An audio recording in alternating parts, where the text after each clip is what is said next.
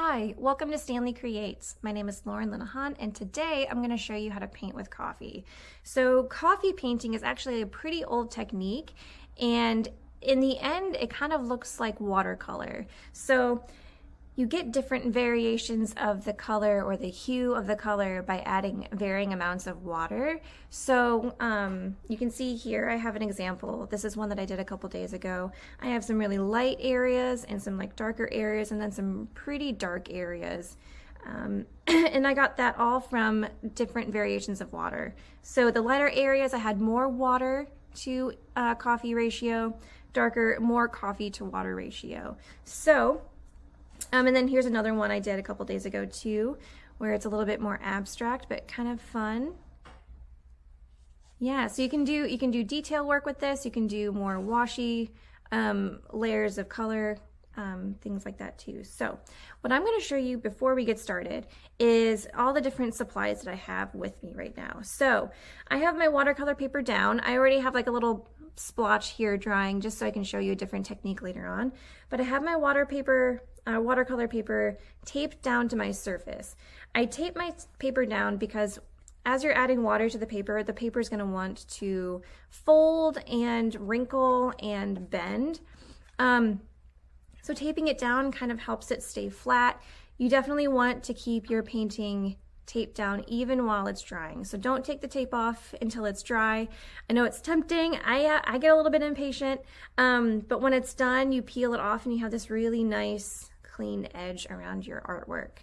Um, but just make sure that you keep it down. If you're if you don't have any watercolor paper with you and you just have regular paper, still do uh, still tape down your paper. Um, and then when you when it's dry, go to flatten it with some heavy books. But before you do that, make sure you wrap it in wax paper, just because even though it's dry, it's still going to be a little tacky. And if you you put a lot of weight on it, it's going to get stuck to that book or to the weights that you have on it. So just make sure that you put some wax paper down first and then um, press with weight.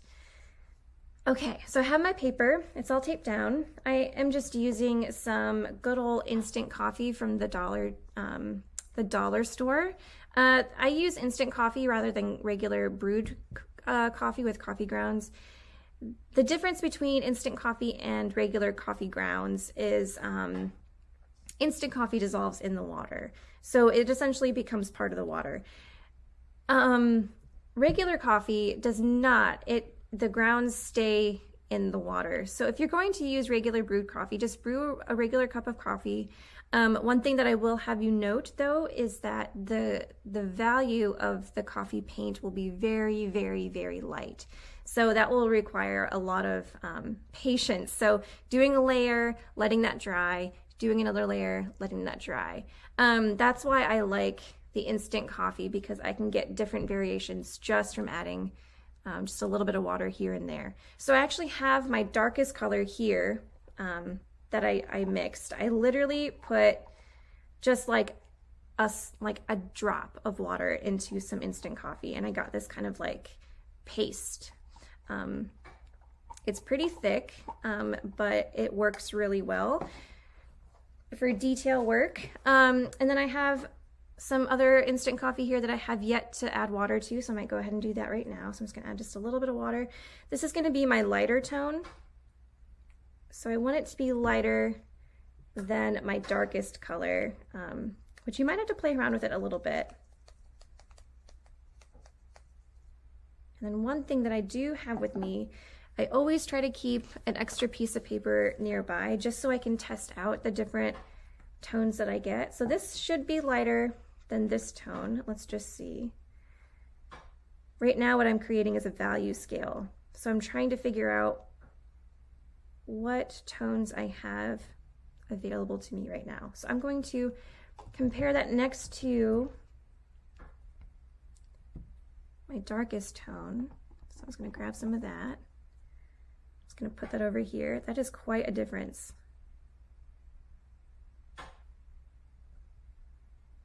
Isn't that kind of cool? Um, and then let's see what happens when I connect them with just regular water. So I'm cleaning out my brush and then I'm just gonna go ahead and go like this. Let's see what I can create if I just kind of connect them together.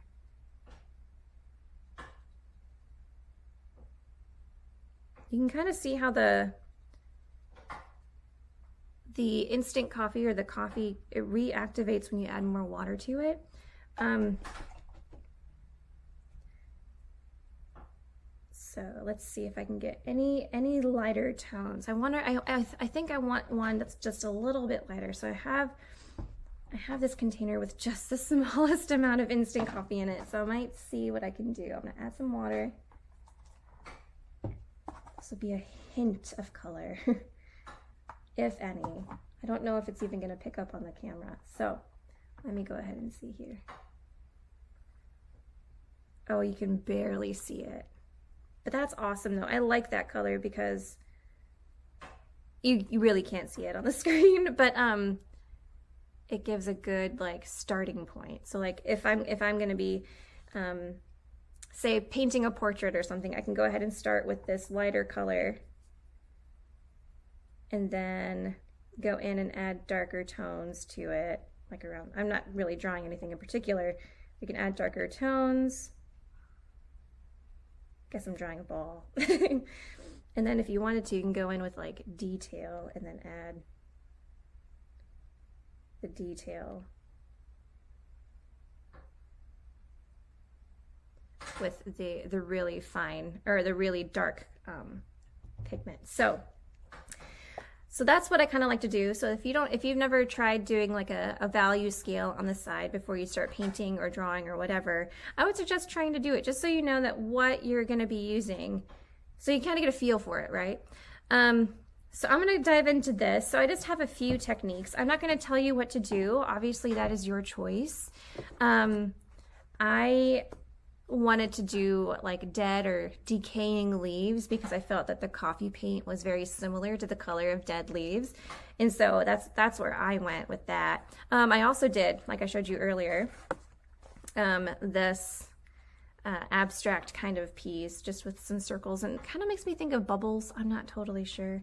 Um, but I think your first one, you should just try to to play around. Don't get too worried about whether or not it looks perfect. What is perfect even, you know? Um, just like with watercolors, you kind of have to go with the flow, excuse the pun, um, because things will happen. Watercolors and coffee paint are kind of sporadic. Um, they're kind of spontaneous. So you might put a color down and it'll bleed into another color and create something completely different. So you just kind of have to go with the flow with it. Um, I am just going to show you just a few techniques that I think are kind of fun.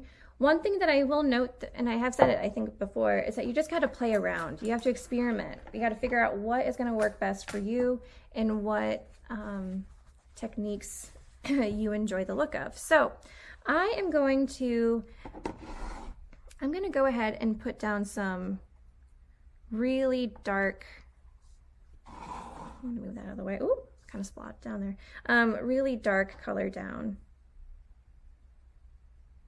kind of spread it out.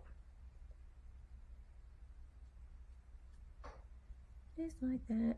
Um, and then if you have paper towels nearby, which I would suggest you do, just because you want to make sure that you wipe off your, your paintbrush in between, um, you can take a paper towel and kind of use it like you would a sponge. You know, if you're doing sponge painting, you could press into it and get different kinds of techniques.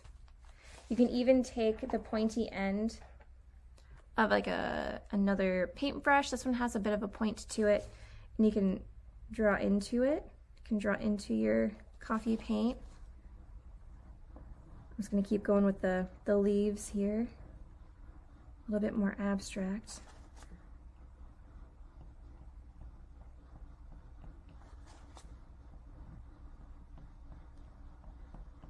But you wanna make sure that you're carving into it when it's wet. If you don't like what you made, the cool thing is you can just go over it.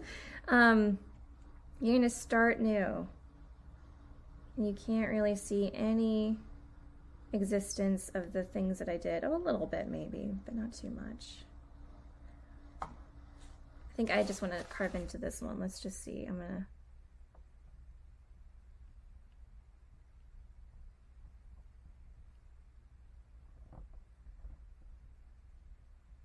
it's fall. I'm feeling very connected with the dead and dying leaves.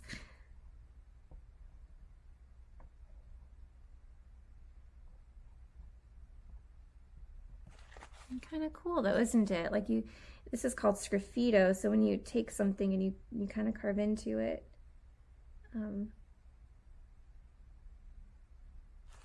and I guess depending on like the, I can turn my tool this way, like you can have thicker tools or skinnier tools to carve into. It's kind of fun. It's all about playing around. Um, so there are a couple techniques there. I think this one is almost dry enough, maybe, to show you another technique here. Um, I am gonna grab my, my paintbrush. I'm just gonna grab a paintbrush and just put water on it. I'm not gonna put any, any coffee on it. I'm just putting water on it. And I'm going to take that and I'm going to draw, or I guess paint across that. Just a few times here. So what I'm doing is I'm reactivating the coffee that's on the paper. And you can kind of see it working already. Um, what you can do is if I have a clean paper towel,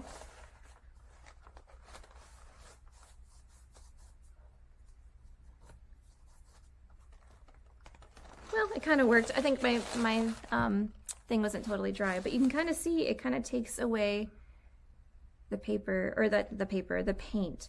Um, I don't think I let mine dry totally, but it worked over in this corner pretty well. Let's see if it worked. Let me try doing a dot up here. So maybe I'll be a little bit more intentional about how I place my paper towel. So instead of laying it all over, maybe I'll just do that.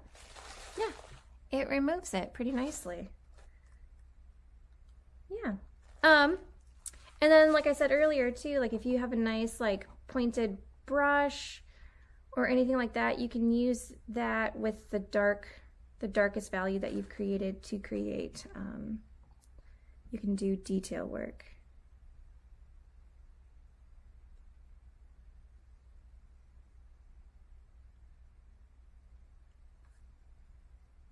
Somewhat similar to that. So I hope that you um, are excited to try coffee painting and I hope that you enjoyed watching um, my my techniques um, and if you and I just hope that you have are inspired to go out and create whatever you want to. Um, thank you for joining Stanley Creates. My name is Lauren and have a wonderful day.